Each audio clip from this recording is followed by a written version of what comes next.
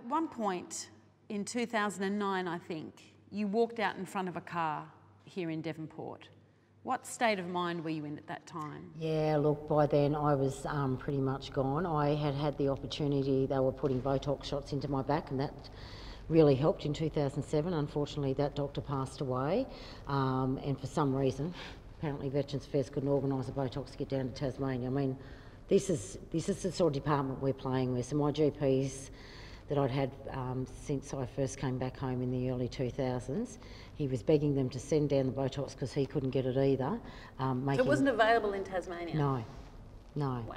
No, apart from one doctor was using it, not that we knew of anyway. Mm. So, um, so I guess it was like you in 2000 and seven when they start putting it in. And then Nick Sherry let me, the former senator down here, Senator Sherry, let me come back and do a return to work mm. in his office six months. So you started getting a taste of it, thinking, geez, I might be able to just mm. get my life back in order mm. and, and, you know, get back to the point where at least I can work for 30 or 40 hours a week. And then when they took that off me, it was like just another slap down. I just couldn't take another one.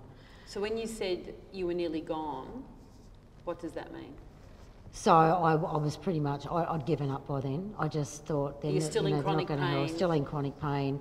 Um, I'd had a touch of what it was like to have normality back in my life again, and maybe you know open those dreams to say, well, maybe I can beat this pain threshold thing. And then that was taken off me, and I just, I just looked back and thought, I can't do this for another eight, nine years. I can't do this anymore. I just can't. There was nothing left of me. I was just like an empty human shell.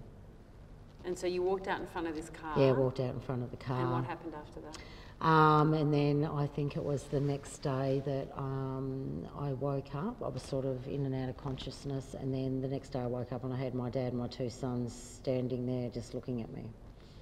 And you'd written letters to them, hadn't yes. you? Yes.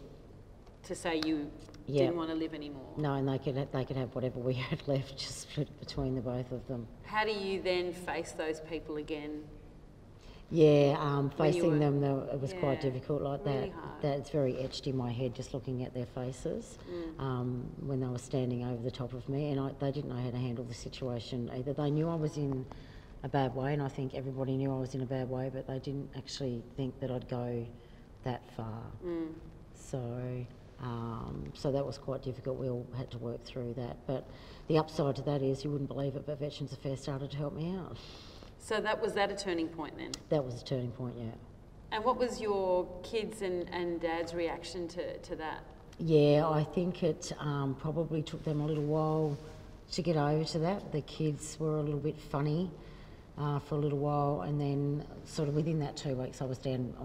I'd had my first um, visit to the clinic, so mm. I had my mum and family. They were sort of around the boys, so I think that helped. I mean, think the boys were a little bit older too, so. Mm to them, I think it surprised them that I did what I did, but it really didn't shock them because they'd seen, you know, they'd seen me back in my army days when they were younger saying, well, you know, mum works lots of hours, she's out there, she's bloody doing physical training all the time, things like that. And then to end it like that um, was a bit of a, you know, they've watched me for nine years going through misery. Mm. And there's this assumption also that families are just going to somehow magically work that stuff out. It's like, you do need the help around you, you do need the social worker at the hospital, you do need a psychologist to become involved and care to be there because you're dealing with a family, not just the person, yeah. you know.